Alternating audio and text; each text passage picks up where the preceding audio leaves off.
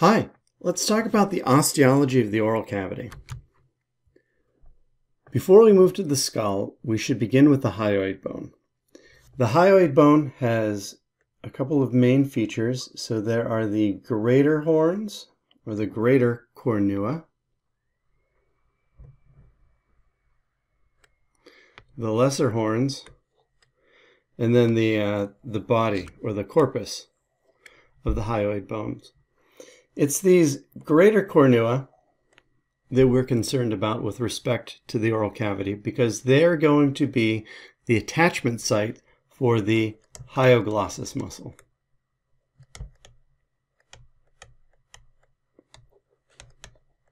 One on either side, going up from the hyoid bone into the tongue. So it's one of the extrinsic sets of tongue muscles. Now moving into the skull, uh, specifically the mandible of the skull, and this is a posterior view of the mandible. We can see here's the body of the mandible, and there are the rami of the mandible. Here are the mandibular teeth uh, and the angles of the mandible. So here's the uh, the mental or the uh, posterior view of the, the chin region. So let's hmm. Let's see what uh, what there is to uh, to behold here. So looking specifically at the posterior aspect of the uh, the mental region, we can see two pairs of spines. So these are called mental spines, and there's a superior pair. These are going to be much more evident, and then an inferior pair. These are going to be much less evident. The, uh, the superior pair here are the attachment sites for the genioglossus muscle.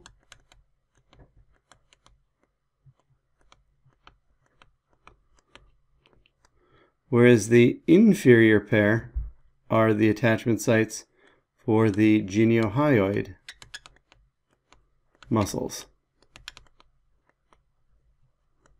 So genioglossus is another pair of extrinsic tongue muscles running from the uh, the genu, the bend of the the mandible, um, to the tongue, and then the geniohyoid runs from the genu of the mandible to the hyoid bone. So these are exquisitely well named uh, muscles.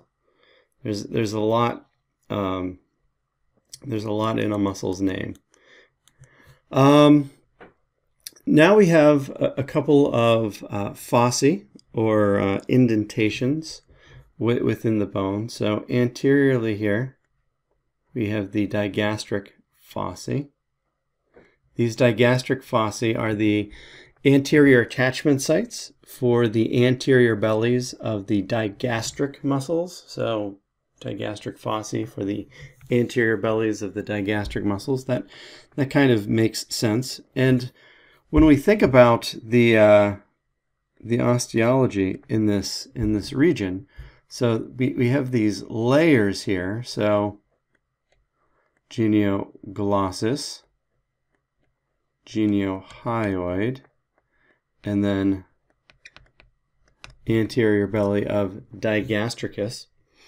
Um, and then we're going to have another set of muscles, the mylohyoid muscles, and those are going to uh, attach to the mylohyoid lines here and there. And then they'll meet their counterpart along the uh, the midline of the of the floor of the oral cavity in a raphe. So we have this, this layering of genioglossus, geniohyoid, mylohyoid, and then anterior belly of the digastricus, which we should, uh, we should see this uh, borne out in uh, the muscles as well. So superior to the uh, mylohyoid line, we're going to have a fossa, and these fossae are going to um, accommodate the uh, the sublingual glands. These are the sublingual fossae. And then inferior to that mylohyoid line, we're going to have an indentation that's going to uh, accommodate the deep parts of the submandibular glands, and these are the submandibular fossae. So all uh, all is fairly straightforward here in terms of the uh, the anatomical arrangements of these fossae and spines and uh, lines with respect to the orientation of their muscles. Now let's take a, uh, a lateral view of the mandible, uh, recalling that uh, the main parts of the mandible are the body, which we can see here, and then the ramus of the mandible. My apologies for any squealing of this pen. Um, within the body of the, the mandible, the, uh, the portion of the body that is going to support the teeth, this is the alveolar arch. There's also an alveolar arch on the maxilla as well to support the maxillary teeth. Um, and this, this lateral aspect of the alveolar arch here is known as the buccal plate.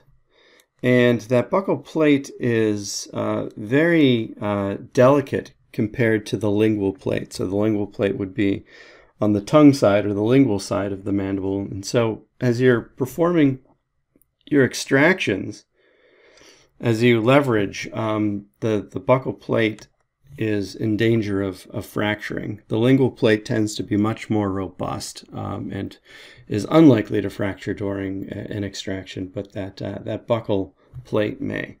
So that buccal plate is not to be confused with the buccal shelf, which we can see here as this indentation. So there's a, just a flattened ridge there.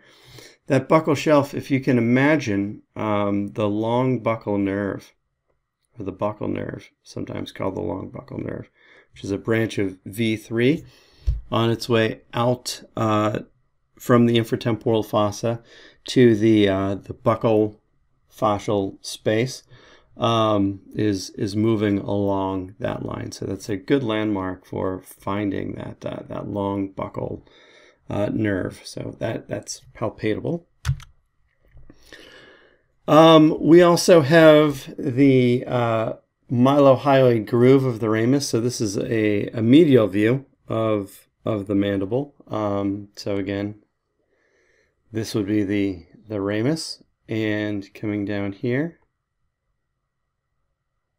is this mylohyoid groove. The mylohyoid groove uh, is a groove which accommodates the nerve to the mylohyoid muscle. So here's the mylohyoid line coming down here. Here is where the inferior alveolar nerve, the IAN, enters into the mandible, but then it gives off that nerve to the mylohyoid muscle. There. And that mylohyoid groove accommodates that nerve. Finally, let's talk a little bit about um, teeth. Uh, there are teeth of the maxilla and teeth of the mandible. Uh, adult humans uh, typically have 32 teeth, and the numbering convention, you know, we would start with number one at, for the, the right third maxillary molar, and we would come all the way over to 16, which would be the left third maxillary molar, and then we'd go down to 17. That'd be the left third mandibular molar, and then over to 32, which would be the right third mandibular molar. But we also give these teeth names. Um, and so when we name these teeth and divide them up, we usually do so by quadrant. So if we were to just draw a line down the middle, we would see that we have in each quadrant a central incisor, a lateral incisor, a canine, a first premolar, a second premolar, and then first, second, and third molars, which we can't see owing to the uh, the anterior view of this uh, particular skull. Uh, humans, by virtue of how they've evolved, uh, generally um, are going to not necessarily have space to accommodate their uh, their third molars. Um, these tend to erupt later in life, uh, towards the end of teens, early twenties. Uh, so we call them wisdom teeth. And what uh, that age has to do with wisdom, I'll never know. Um, but uh, it, it certainly didn't arrive uh, for me at that age. So let's look at the at the mandible here. Um, so we've got a, a, a, pretty good view of the, the mandibular teeth. So this would be tooth number 17. That would be a third molar. That would be a second molar, and that would be a first molar. So those are your mandibular molars. Here would be the second premolar and the first premolar.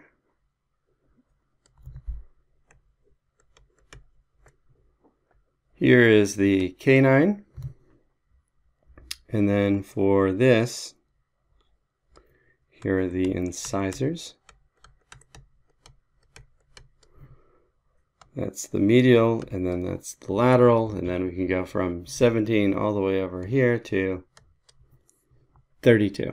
And we can see that uh, these teeth are in this alveolar arch and the alveolar process of the arch surrounds the, the roots of the teeth.